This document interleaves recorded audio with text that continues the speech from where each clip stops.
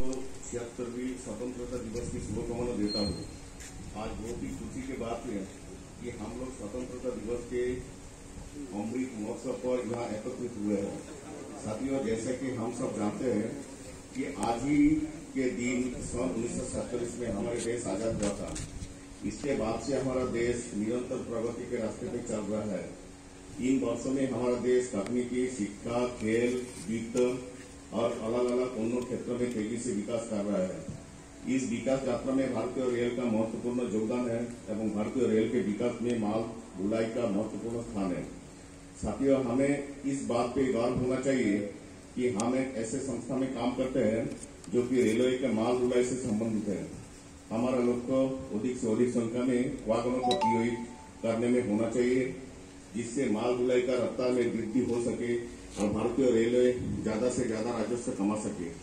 विगत वर्षों में हमारा वर्कशॉप नए नए ऊंचाई को छुआ है और हम आशा करते हैं कि जिस मेहनत और लगन से हम लोग काम कर रहे हैं, बहुत जल्दी हम लोग मालगाड़ी का पीओएच में मिल के पात्र साबित होंगे। इस वर्ष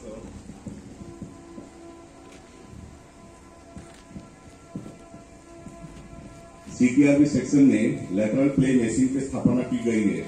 जिससे बियरिंग पीओएच की गुणवत्ता बढ़ गई है। डिवीज़न के मेरामत किए हुए बियरिंग को आपूर्ति बढ़ाई गई है एवं लगभग बाईस सौ बियरिंग का आपूर्ति प्रति माह की किया जा रहा है। इस प्रकार हमारा कारखाना चौमुखी विकास करते हुए आगे बढ़ रहा है, जो कि रेलवे के विकास के साथ साथ देश को विकास में अपना महत्वपूर्ण भूमिका निभा रहा है। जय हिंद, जय भारत।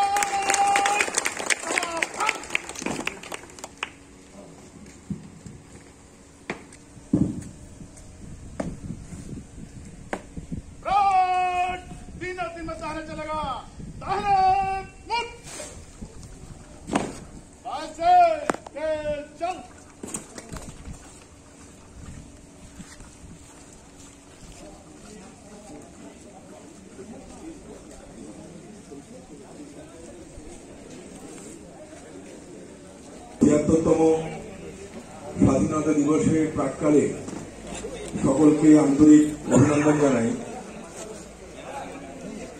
আজ পনেরোই আগস্ট, ভারতের স্বাধীনতা দিবস। আমরা বিজ্ঞান, সাহিত্য, চিকিৎসা প্রভৃতি বিভিন্ন বিষয়ে আমরা অগ্রণী ভূমিকা আমার দেশ অনেক, আমাদের দেশ অনেকটা এগিয়েছে।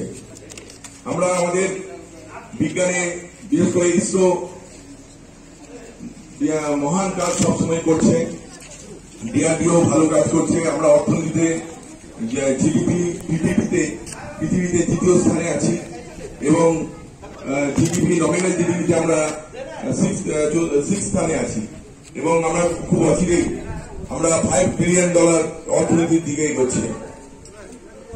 আজ আমাদের ভারতীয় রেল সবচেয়ে গর্বের বিষয় যে ভারতীয় রেল আমাদের কাশ্মীরে পৃথিবীর সব থেকে বড় সব থেকে উঁচু একটা ব্রিজ তৈরি করেছে রেলওয়ে ব্রিজ যেটা রেকর্ড করেছে।